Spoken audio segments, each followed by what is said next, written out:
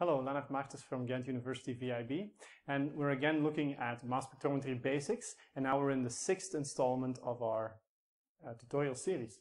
So in the first one, we talked about amino acids and their properties and how they form to create proteins and how we can then use these properties to analyze these proteins or parts of them, peptides, in a mass spectrometer. Second lecture talked about mass spectrometry and its overall concepts and about the two ion sources that are prevalent in the study of proteomics, which is MALDI and ESI. In the third lecture, we talked about the mass analyzers that actually find out what the inertial mass is of a particular ion. And in fact, it usually the analyzers give you mass over charge. Then the uh, uh, third lecture was about the detectors that finally detect the movement of the ions in the instruments and they're an important part in making the mass spectrometer work obviously and they can also give us signals about the quantity of a particular ion that is there with some caveats. And then in uh, the fifth lecture, we talked about Fourier transform ion cyclotron resonance and Orbitrap instruments, which are a special breed of instruments because they essentially combine an analyzer and a detector, and they use some uh, fancy mathematics to weed out the inertial masses or mass over charges, but they do so with very good resolution, and that makes them very interesting instruments, especially the Orbitrap because it's easy to use. Now, with that, we actually summed up everything we needed to know about the actual instruments themselves. Now we're going to look at some interesting new ways of doing mass spectrometry. And the most important one of those is tandem mass spectrometry, or MS-MS, or MS squared.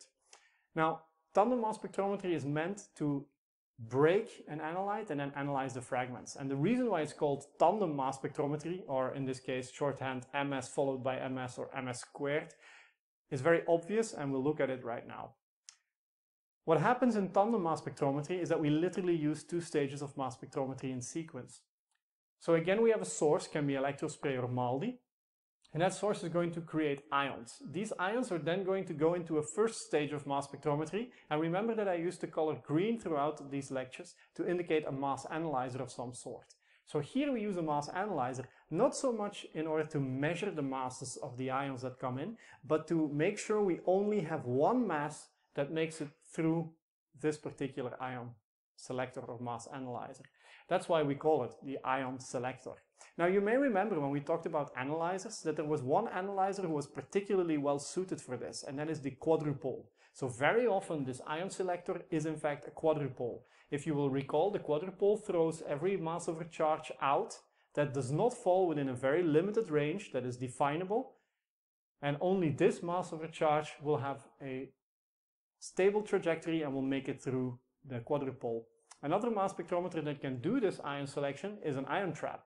Because in an ion trap, what we can do is we trap all the ions and then eject them from smaller ions to bigger ions, or rather from lower mass ions to higher mass ions. Uh, and then we can actually discard all of the ions that come out of the trap, save for a, for a particular patch of ions that we want to use. Or rather, we could even try and keep these ions in the trap and not eject them at all. And wh whereas we eject all the other ones. Even a time of flight can be used by putting a, a, gate at the end and only opening the gate at a given flight time. So at a given time after the extraction of the ions. Now, very often it's a quadrupole or an ion trap. After this ion selector, we now have a very small amount of ions left. The small amount of ions corresponds to only those ions with the required mass over charge. Now, the reason why we take only these ions is because we can then fragment them. We can break them apart into bits. This is a very important step and I'll try to explain you how this works with a rather morbid analogy in a second.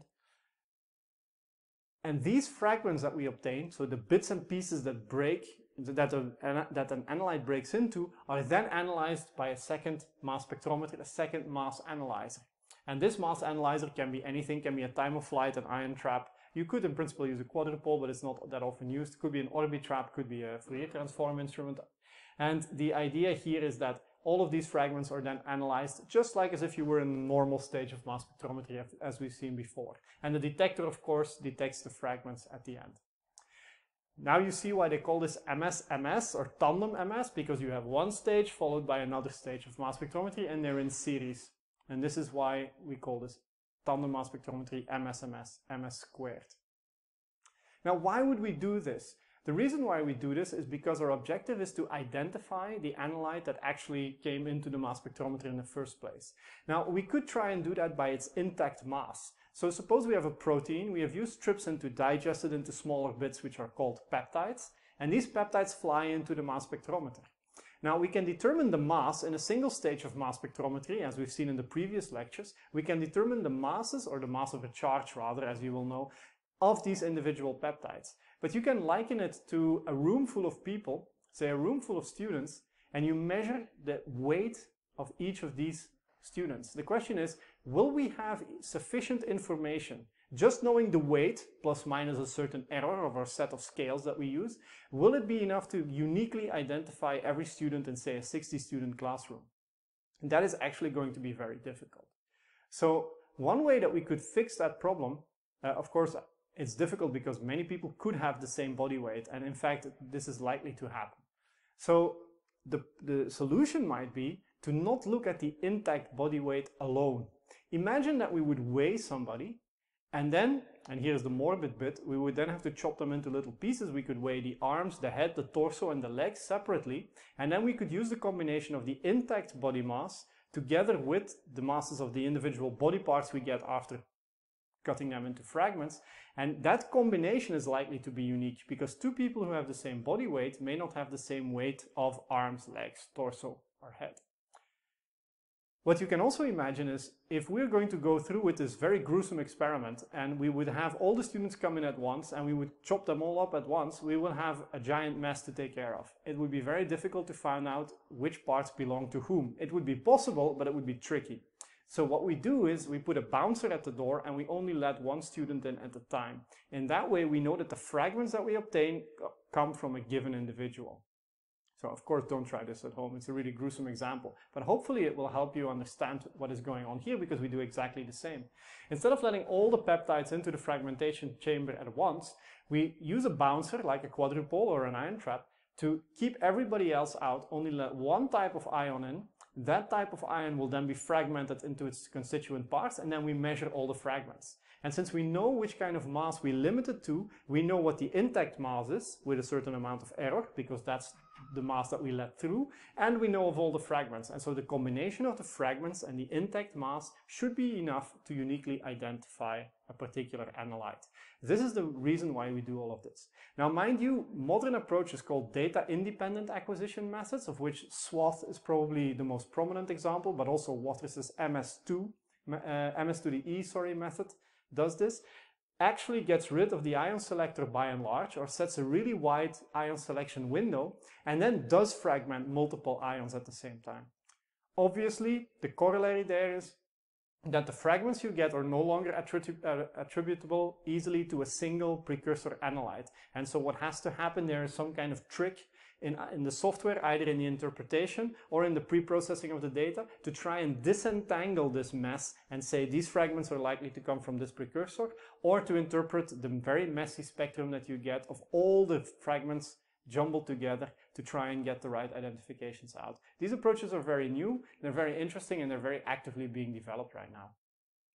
But by and large, MS2 still is done with a selection and then fragmentation and fragment analysis. I've already told you that you can use the same kind of analyzers here as we use here. And so in fact, there's nothing new to learn there. The only thing is conceptually, we use these, this first analyzer as a selector. Now, the key point in all of this is that we try to break peptides into fragments. And the thing is, we have to understand how the peptides break because otherwise the fragments would be meaningless. So we have to have some kind of structural insight. So let's have a look at what happens. I've put here a peptide, a very small one. It has one, two, three, four amino acids. That's actually too small to identify typically, but for the sake of argument and for the clarity of the presentation, it will suffice. Uh, I've whimsically put two CH2 groups here. That's just to change the picture a bit, but ultimately this can be anything. It could be a glycine as well. Remember, we have the amino terminus of the peptide, and here we have the carboxyl terminus of the peptide. And then in between, we have the peptide bond. you will remember the peptide bond. This is the carboxyl group of the first residue that has paired with the amine group of the second residue and creating an amide bond, which is known as the peptide bond because all peptides consist of a series of amide bonds. I've also told you that this is a pretty weak bond, okay?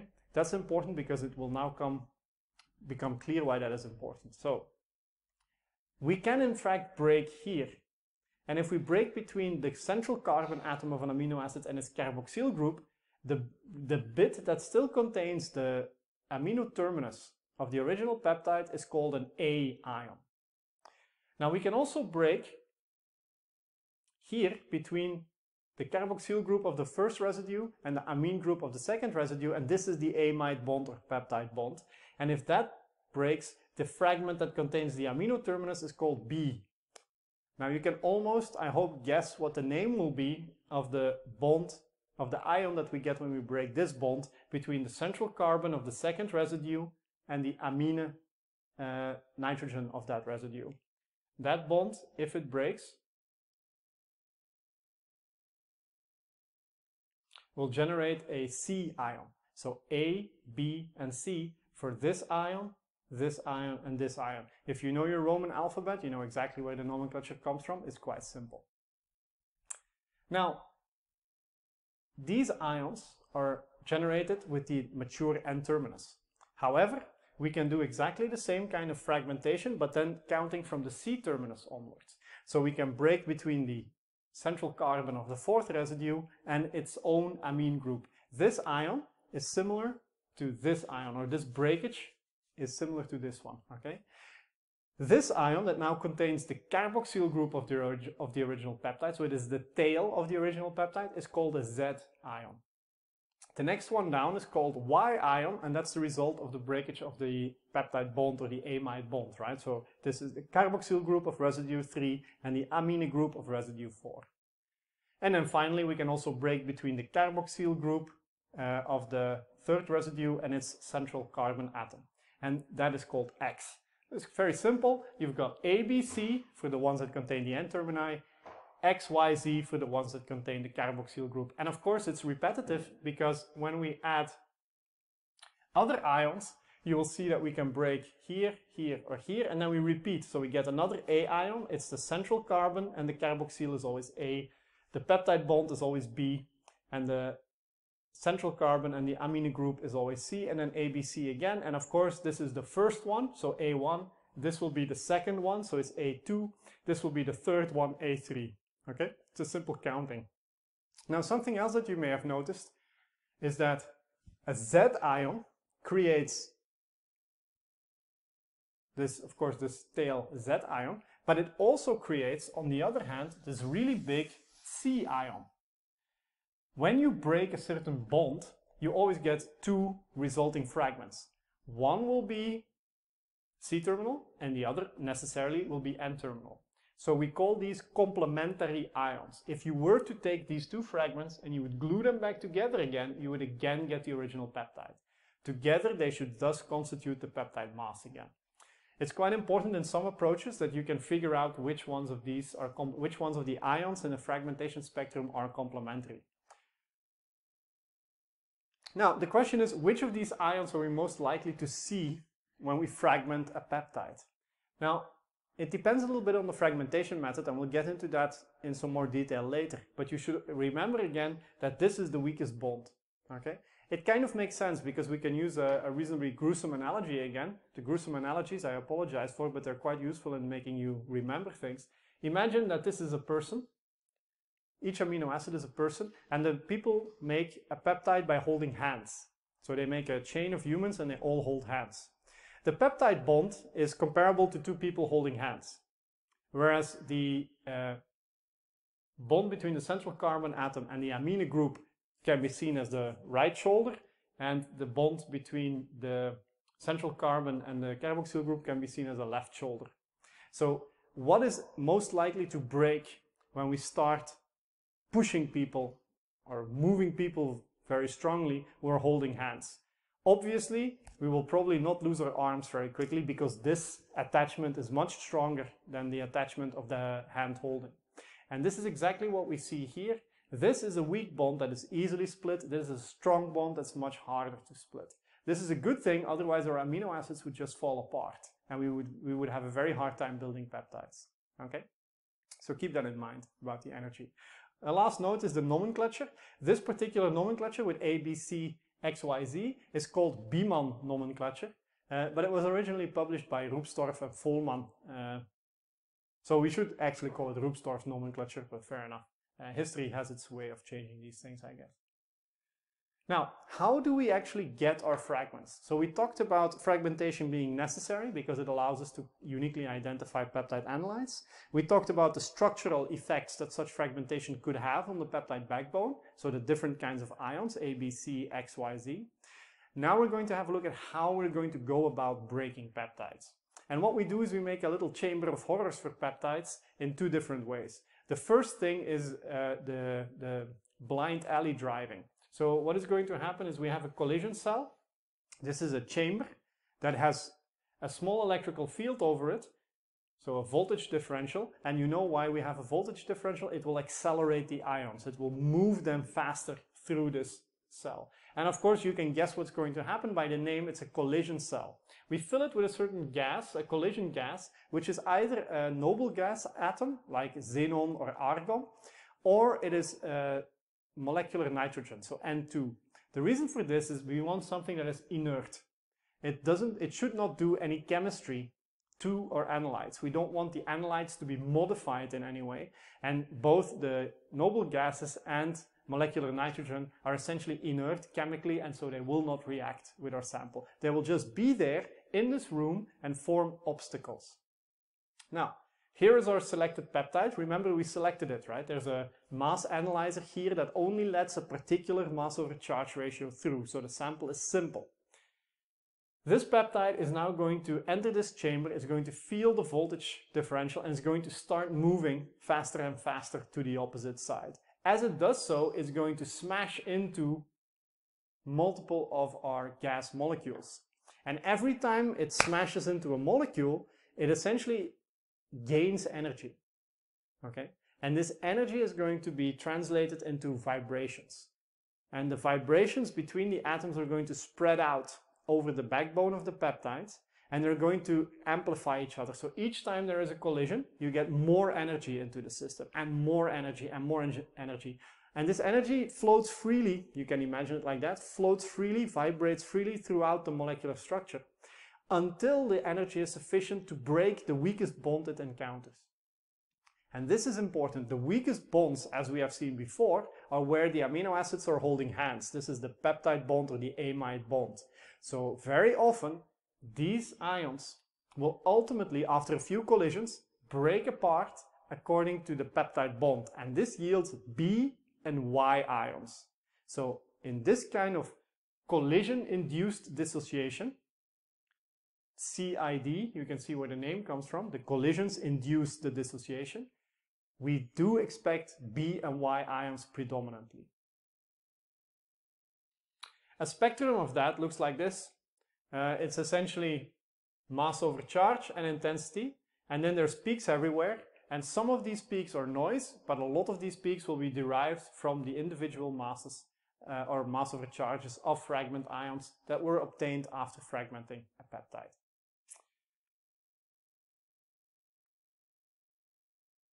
Now, that's not the only way we do this. The second style, it's very similar. We also have a fragmentation cell, but it's no longer called a collision cell. This is Sniper Alley. So what happens here is we have, instead of neutral atoms or molecules, we now have electrons. And you know, electrons are the basic element of chemical reactions. Chemical reactions revolve solely around electrons. And this is what we're going to use to our advantage. Our sample ion is going to come in. It's selected, of course, for a certain mass over charge as before, and it's going to enter this fragmentation cell. And now there are going to be electrons everywhere, and these electrons are going to be attracted to our positively charged uh, analyte ions. As soon as the electron hits the ion, it's like a bullet, a high velocity bullet, it's going to hit it and in that spot it's going to break apart. There is now one electron too many and this creates an immediate breakage of the bond. This is very different from the collision-induced dissociation. The collision-induced dissociation is a built-up process over several iterations of bumps into our collision gas and slowly the energy spreads and finds the weakest point. With a technical term, this is called an ergodic process.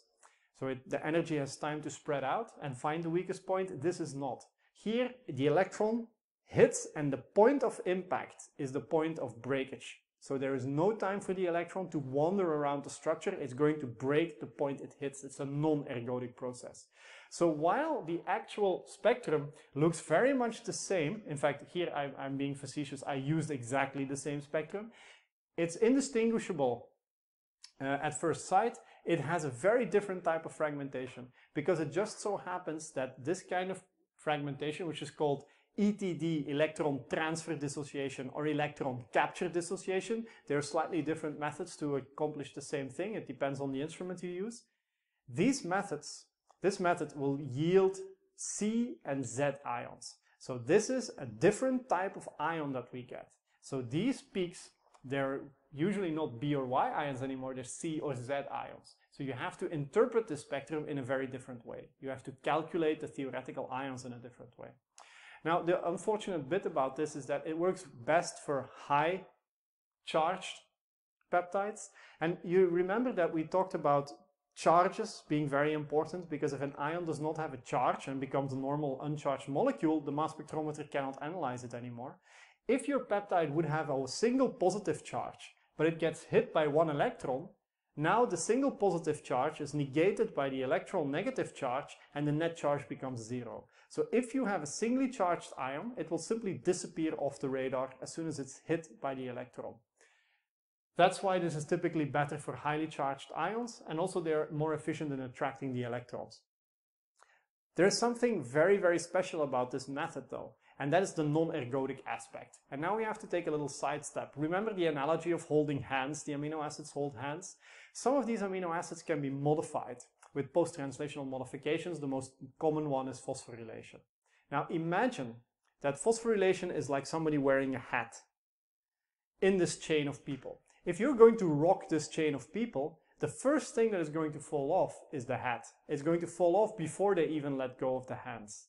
And so the phosphorylation and collision-induced dissociation is very often lost almost immediately. With ETD or ECD, this non-ergodic process, if the bullet strikes anywhere, the hat doesn't have time to come off and the hat will stay on. And so this is a method that is used for post-translational modifications a lot because it maintains the post-translational modification on the residue in the peptide intact even during fragmentation. This is where this method shines. The other thing where it's quite useful is for intact proteins because they have a high charge and they're very amenable to this type of fragmentation. A final thing I'll say about it is that the fragmentation procedure is slightly less efficient and it is harder to get a good coverage of all the possible fragment ions along the backbone. As a result, what most people do is they actually enhance the fragmentation and they use a kind of mixture. They use ETD or ECD to fragment as the primary mechanism, but at the same time, and this is often done in trap instruments, in the trap they increase the energy by switching the voltages uh, to high, so to, by setting the voltages higher and the switch will then create more violent back and forth motion. And this more violent back and forth motion leads to collisions between the peptides and generates Y ions and B ions to some extent as well. So in those cases, you get a mixture here of C, Z, B, and Y ions. And that gives you better coverage, but it makes for a slightly more difficult to interpret spectrum. Nevertheless, this is quite popular.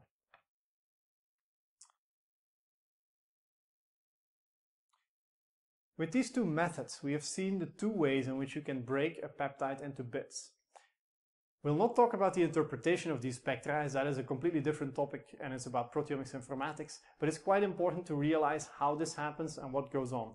In the next lecture then, which will be the last one, uh, we'll talk about some concepts behind how CID works. We'll primarily focus on CID and I forgot to mention this, but there's also its very closely related sibling HCD, the HCD stands for higher energy collision-induced dissociation. It is a very similar mechanism, but a higher energy is used there. It has certain um, consequences.